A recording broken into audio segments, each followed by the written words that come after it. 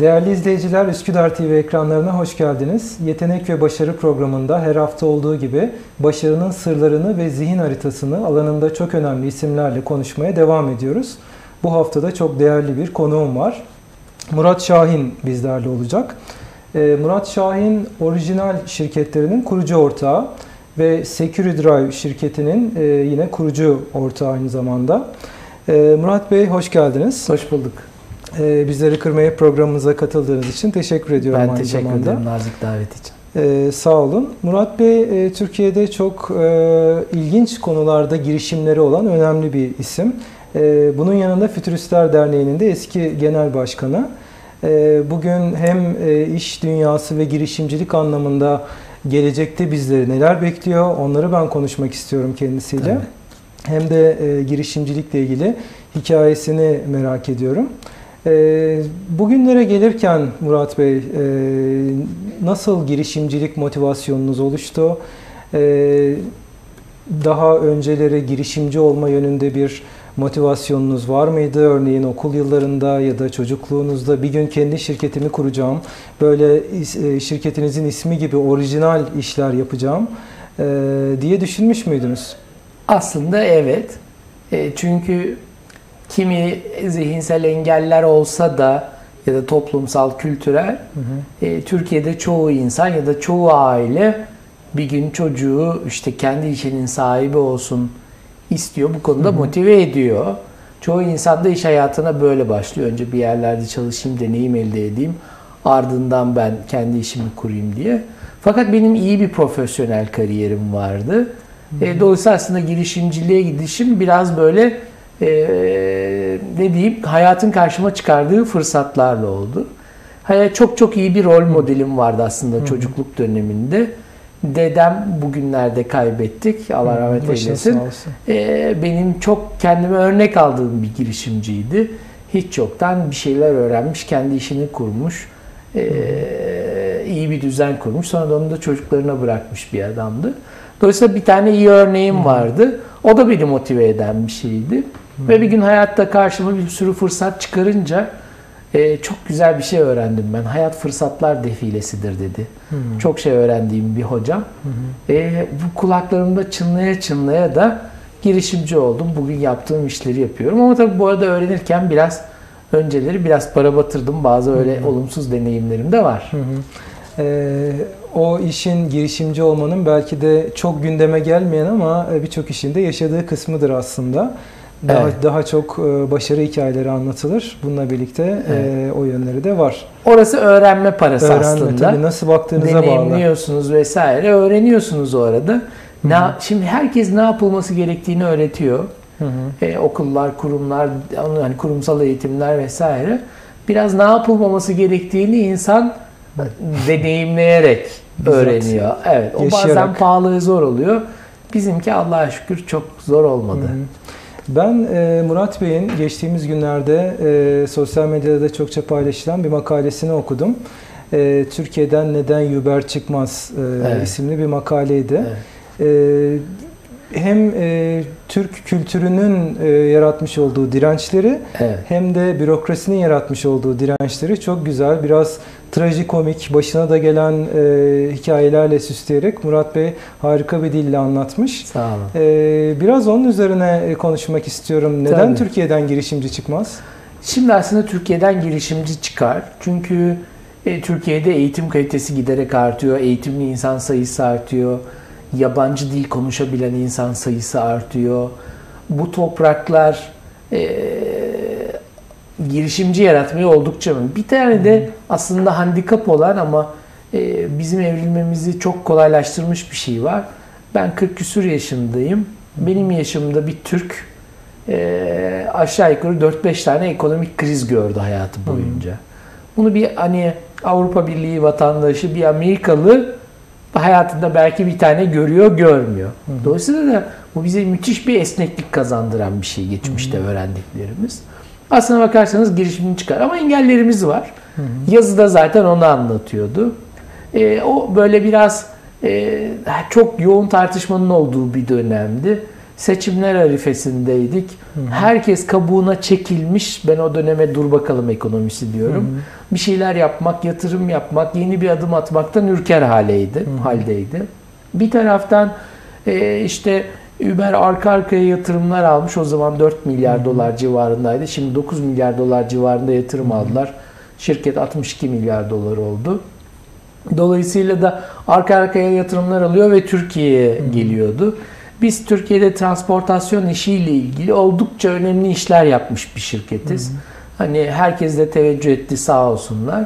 E, şu anda Türkiye'deki en büyük Avrupa kıtasındaki ya en büyük ya ikinci şirket durumundayız. E, taşıdığımız yolcu sayısı itibariyle Secure Drive'da. Evet, biraz Security Drive'ın da ne iş yaptığından söz Ondan da bahsedeyim. Hı hı. Ee, biz temelde insanları havalimanına ya da havalimanından gittiği yere götürmek isteyen, bunu ekonomik yapan, bunu çevreci olarak yapan ve konforlu bir şekilde yapan bir şirketiz.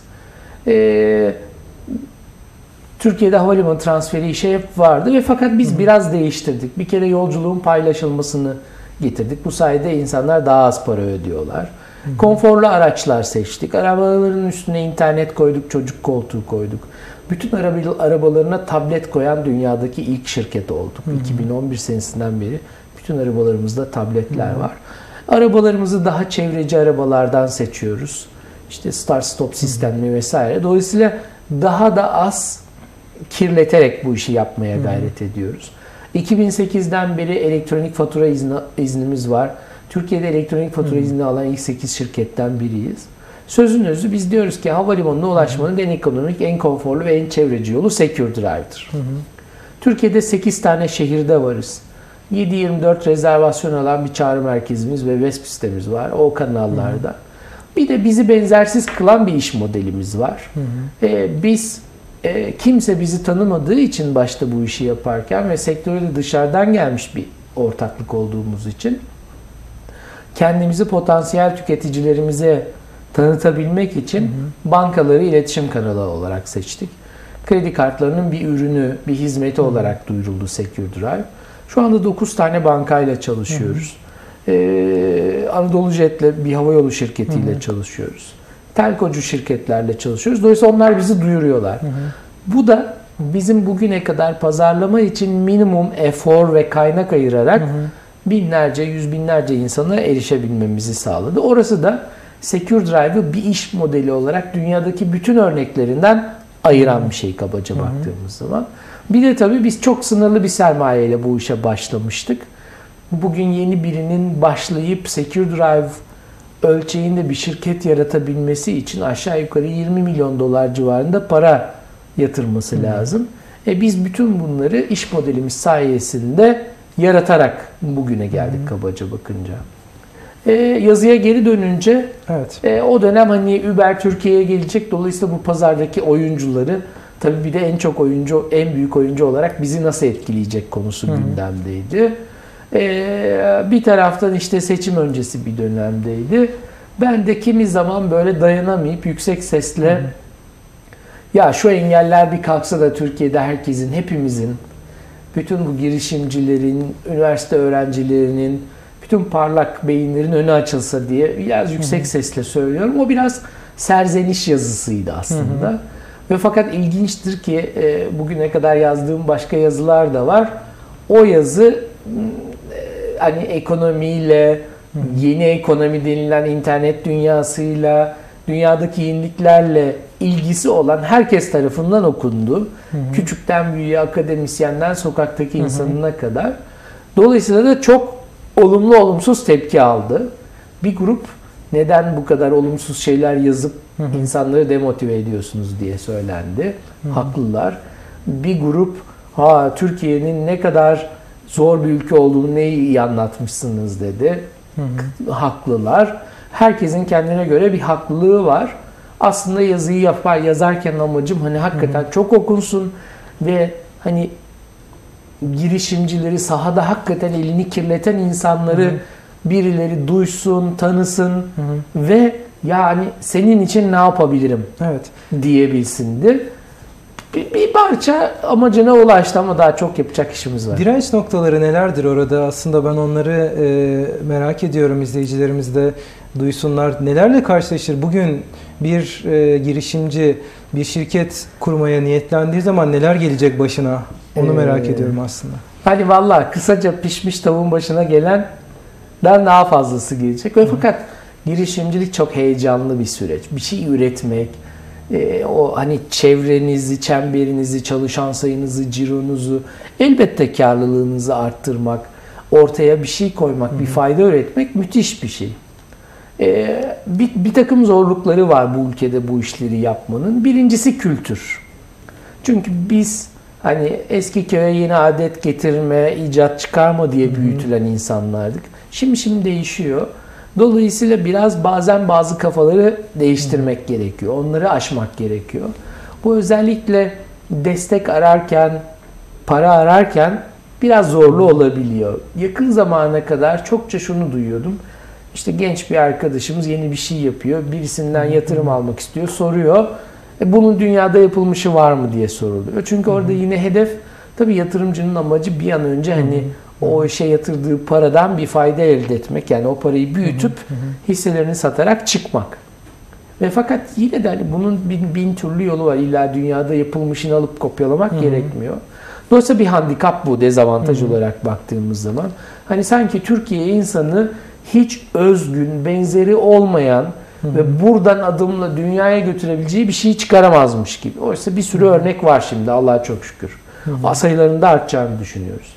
İkincisi biz hep böyle hani kıt kanaat, ayağını yorganına göre uzat, işte azıcık maaşın, işte azıcık aşım, ağrımaz başım diye hı hı. küçük hayaller kurdurmuşuz hı hı. insanlara. Oysa yani yakın zamana kadar ya ben Türkiye'de bir iş yapacağım, bunu da büyüteceğim işte Avrupa'ya, Orta Doğu'ya, Avrasya'ya, işte Amerika'ya götüreceğim diyen insan sayısı azdı. Biraz büyük hayal kurabilmek konusunda dezavantajımız vardı. Bu konuda çok pratik yapmamız lazım. Bunun yegane yolu da antrenman. Ee, orada da hani başarı sayı, ölçüsü sayısını arttırabilirsek aslında otomatik olarak o engeli artıracağız. Biraz bürokrasi bizim önümüzde engel ve bence en önemli engel o. Çünkü orayı aşmak güç. Orada birkaç konu var. Bir bürokrasi genellikle aman hani ben sakin uslu adımlar atayım. Koltuğumu, imzamı, ismimi de pek e, riske atmayayım. Yani bu konuda risk almayayım e, yaklaşımı içinde. Oysa girişimci tabii hep yeni bir şeyle geliyor. Hayatı kolaylaşsın istiyor. Bakın şimdi e, dünyada internet trafiğinin %82'si mobil telefonda, mobil cihazda. Biz daha yani yılbaşına kadar her müşterimize bu 3 lira da olsa, 33 lira da olsa, 33 milyon lira da olsa kağıda fatura basıp göndermek zorundaydık. E, dolayısıyla bürokrasi bunu aşmakta. Bürokrasi biraz girişimciliğin gerisinden geliyor. Şu an bu olası sanırım değil mi? Şimdi artık olası bir elektronik e-faturayla çözülmedi ama e-arşiv kanunuyla çözüldü. Hı. Biz onu bir lisanslı şirkette depolarsak size artık e-postayla fatura gönderebilir durumdayız. E-fatura kanunu ne yazık ki şey diyordu. Sadece e-fatura izni alan şirketler birbirlerine fatura kesebilirler hmm. diyordu. O da, da sayısı çok küçük bir şeydi ama hani bakın biz e, faturayı kesmek için yazıcıyı ithal ediyoruz, mürekkebini ithal ediyoruz, kağıdı neredeyse ithal ediyoruz. Sonra işte zarfa koyuyoruz, onu göndermek için akaryakıt tüketiyoruz, onu ithal ediyoruz. Yılda 65 milyar dolar parayı yurt dışına enerji ithalatına hmm. veren bir ülkenin oradaki her kuruşunun hesabını yapması hı hı. lazım. Oysa bir engelimiz o. Başka işte ne var? Hani hayatımızda artık her şey elektronik. Hı hı. Hiç ofise gitmeden günlerce yaşayabiliyoruz artık. İşte bankacılık işlerimizi hı. hallediyoruz, devlette işlerimizi hallediyoruz, onu yapıyoruz, bunu yapıyoruz. Ve fakat örneğin taşımacılık kanunu diyor ki sen taşıdığın her yolcunun elektronik olarak şey e, bir yolcu listesini arabada tutacaksın. Hı hı. Peki tamam yani hayat artık şöyle bir şey. Bir müşteri bize internetten buluyor arama motorundan. İngiltere'deki asistanı patronum Türkiye'ye geliyor. Bodrum'a gelecek diyor. Rezervasyonu yapıyor. Biz kredi kartından tahsilat yapıyoruz. Patron uçağa biniyor. 6-8 saat sonra Bodrum'da oluyor. Biz o iş emrini Bodrum'daki şoförümüze elektronik gönderiyoruz. Geliyor misafir Türkiye'ye, arabamıza biniyor, oteline gidiyor. Bütün bunlar elektronik çözülüyor. E, hala bürokrasi bize diyor ki sen yolcu listesini kağıda bas, üstüne kaşe bas, imza at, Bodrum'daki arabaya gönder. Eğer denetim yaparsam şoför bunu göstersin. Bu konu henüz çözülmedi sanırım. Bu çözülmedi. Ee, Sizin alanınızda.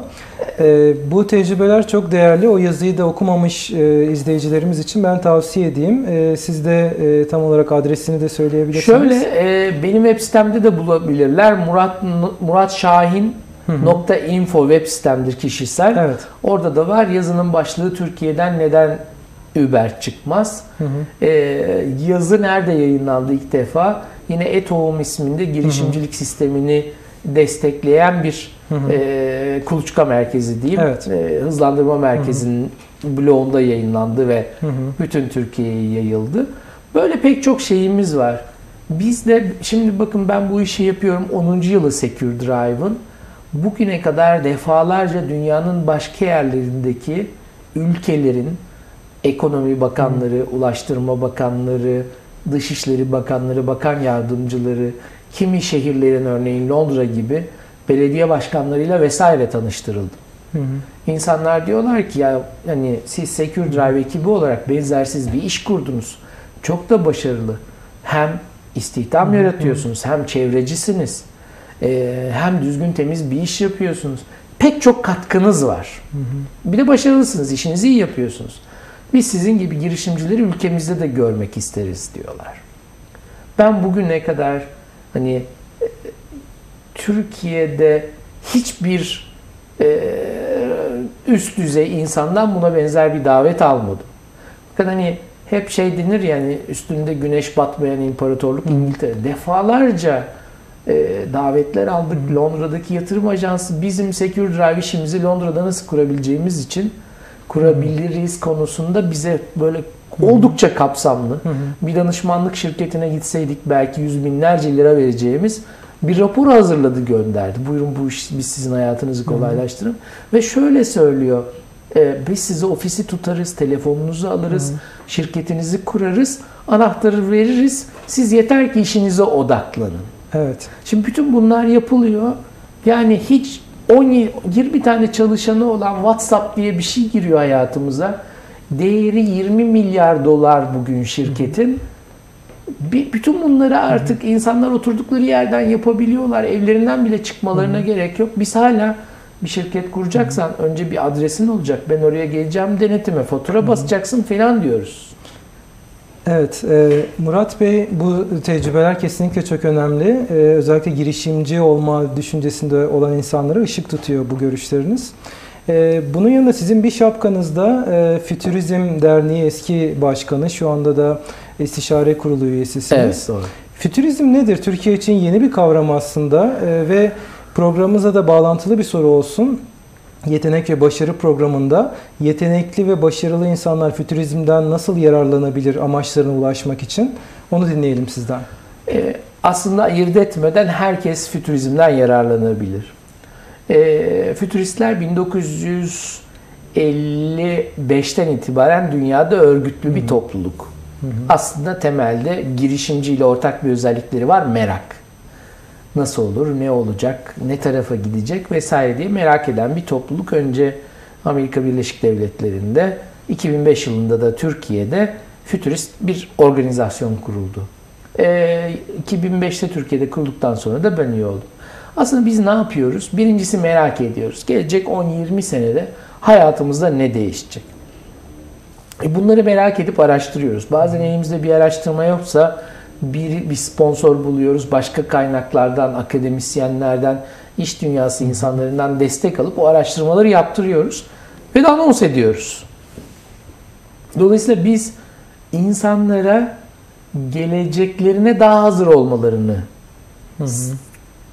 sağlayan bir yardımcı ekibiz diye düşünün. Bu tarafta tabii bütün bunları bilince en çok kendimize fayda üretiyoruz. Şimdi düşünün e, pet hani fosil yakıtların tükeneceğini bilen biri, bunun nereye doğru evrileceğini bilen biri tabii ki önce kendi hayatında buna benzer e, oradaki yeni boşluğu dolduracak girişimlerde bulunuyor. Hı hı. Ya da mobil cihazların internet hızının, mobil internetin bu kadar hızlı yaygınlaşacağını bilen elbette insanların elindeki telefonu bir fayda olarak kullanma peşinde.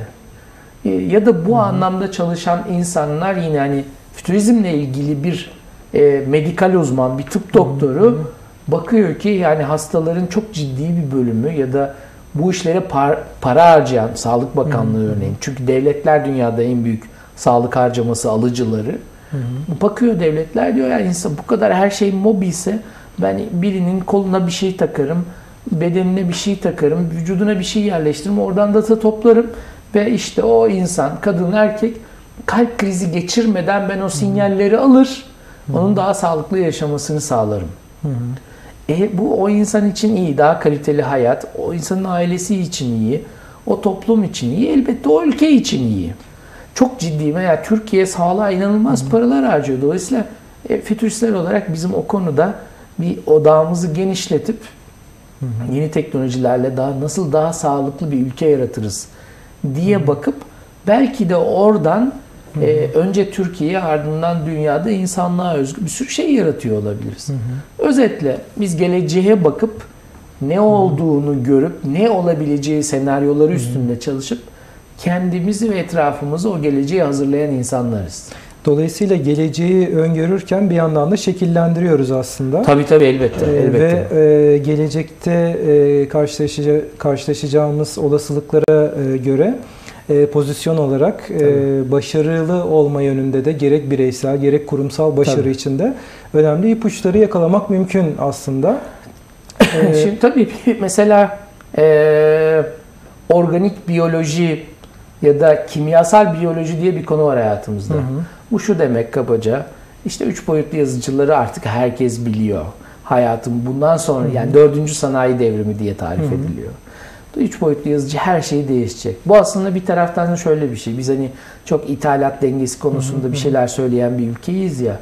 E, biz Sivas'ta, Gaziantep'te, Urfa'da insanların evlerinde bile bir şeyleri üretiyor. Dolayısıyla Çin'den bir şey satın almıyor olabiliriz bu sayede. Önümüzde çok büyük bir fırsat var. Şimdi e, kimyasal biyoloji diye bir şey var. Bu şu demek. Organ, uzuv üretebiliriz. Hı hı. Bugün e, bu şu demek bir taraftan bir sürü insan çok daha uzun yaşayacak. Bunları da yazıcılarla yapıyor olacağız değil mi? Bunları da yazıcılarla yapıyor olacağız. Üç boyutlu yazıcılar bize bunları üretecekler. E şimdi bunu bilirsek e, tabii ki hay- bir, bir daha az korkarız gibi şeylerden. İki daha uzun ve daha sağlıklı bir ömür yaşıyor oluruz. Bu da Hı hı. insanlık için iyi bir şey elbette. Kesinlikle. Ee, programımızın sonlarına doğru gelirken özellikle kariyer hayatının başındaki insanlar için, gençler için ve e, kariyerin orta dönemindeki e, kişiler için tavsiyelerinizi, başarı yolundaki öneri ve görüşlerinizi bu arada programa davet etmeden önce e, programımızın e, program modeline çok yakın sizin CEOs dergisinde yapmış olduğunuz e, röportajları gördüm. Orada şirket CEO'larıyla Evet. e, başarı üzerine aslında sohbet etmişsiniz. Ee, bugün de biz sizinle sohbet Sağ ediyoruz. olun. Dolayısıyla hem orada edinmiş olduğunuz e, o e, röportajlardan edinmiş olduğunuz tecrübeler hem şu ana kadarki tecrübelerinizden e, neler tavsiye edersiniz başarı açısından? Şimdi bunları tavsiye olarak paylaşmak yerine hani ben öğrendiklerimi Hı. paylaşayım demek isterim. Çünkü artık kimin ne bildiğini bilmiyoruz. Dolayısıyla herkesin de birbirinden öğrenecek Hı hı, bir şeyi var. Dolayısıyla bunu bir öğüt gibi paylaşmak yerine Hı hı. Kendi deneyimlerimi paylaşmak Hı hı, diye söylerim. Ve bence merak insanı en çok geliştirecek şey.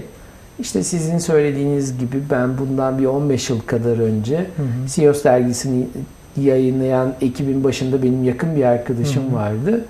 Ve her ay kapakta bir başarı öyküsünün olacağını söylediğinde biz iki arkadaş dedik ki bu röportajları biz yapmak istiyoruz. Çünkü birinci ağızdan onu dinlemek Hı hı, istiyoruz. Çok çok ilginç öyküler var Türkiye'de. 33 sayıda böyle bir deneyimi elde ettim. Benim son günlerde en çok altını basarak söylediğim şey deneyim. Hı hı. Ee, bizim Türkiye'deki handikaplarımızdan bir tanesi bazı konularda çok konuşuyoruz. O yüzden de beynimiz yanılıyor. Yaptık zannediyor konuştuğumuz şeyi. Hı hı. Ya da çok hakimiz zannediyor.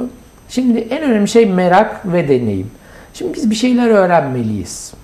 Ee, genç arkadaşlarımızın, 40 yaşında insanın, yani sokaktaki insanın bir şeyi merak ediyorsa elini bulaştırabileceği bir alan var. En azından hiçbir şey yapamıyorsa elinin altındaki mobil cihazı çıkarır. Ya bu neymiş diye bir arama motoruna sorabilir. Ardından da belki başka şeyler. Ee, daha erken yaşlarda özellikle öğrenci olan, yeni mezun olan arkadaşlarımıza da şimdi bir, bir şeyi merak ediyorlarsa onun bir parçası olmaya gayret etmelerini e, önerebilirim olsa olsa. Bir şirket, bir alan vesaire. E, bir de artık herkes kurumsal hayatta çalışmak istemiyor ama Türkiye'de yüzlerce başlangıç aşaması girişim var, startup dediğimiz. Onlarda da bir yetenekli insanlara ihtiyaçlarımız var bizim. Ve çoğunlukla da hani deneyimli insanları startuplara getirmek daha güç. Ve startuplarda inanılmaz okullar. Hı hı. O yüzden bir şeyleri, belirli alanları, belirli sektörleri merak ediyorlarsa o alanlarda çalışabilirler. O alanda bir şey yapıyor olabilirler. Biz bizim kapımızı çalan ben stajyer olmak istiyorum. Ben bir sizin dünyanızı merak ediyorum. Haftada bir gün gelirim çalışırım diyen herkese iş olanağı sağlıyoruz şirkette. Hı hı. Dolayısıyla aa, onlar geliyorlar bizim sektörümüzü öğreniyorlar ve inanın e, bizle çalışma bizle çalışmayı çok sevip kalan, bizle çalışmayı bizim girişimci ruhumuzu çok sevip ya ben de girişimci olacağım bana yardım edin diyen çokça insan var. Bambaşka alanlara gitmiş arkadaşlarımız var.